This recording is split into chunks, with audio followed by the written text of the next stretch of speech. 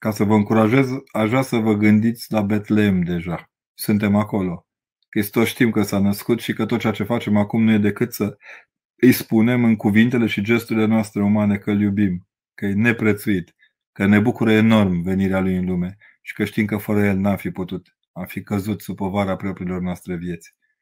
Mergeți spre un bebeluș, pregătiți-vă, așteptăm să se nască și pentru asta sigur că strângem bomboanele uh, duhovnicești ale întâlnirii cu un bebeluș, suntem pregătiți să-i ducem și Maicii Domnului câte ceva din dragostea noastră, din gestul nostru fraternal și dacă au putut păstorii, putem și noi. Și dacă au putut îngerii, putem și noi. Și dacă într-un fel sau alții magii au putut, putem și noi. Pentru fiecare dintre noi e câte o statură și câte un sens în toată întâlnirea aceasta a postului nașterii Mântuitorului Hristos.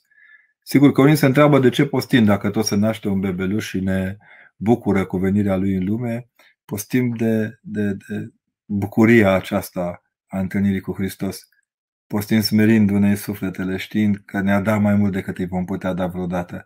Știind că viața lui e mai importantă decât viața noastră, dar el ne-a învățat că viața noastră este extrem de importantă. Fiți strașnici în postirea aceasta.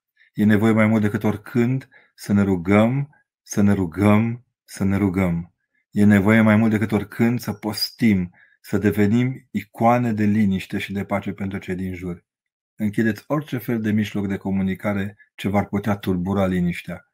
Și învățați de la cel ce se naște smerit cu Duhul, cu trupul și cu toată dragostea Lui în mijlocul nostru, învățați din smerenia Lui că nu există nici o rânduire din lume care să ne oprească în adâncul inimii noastre, în casele noastre, în sufletele noastre, în privirea noastră, în gestul nostru, să-L preamărim pe Hristos.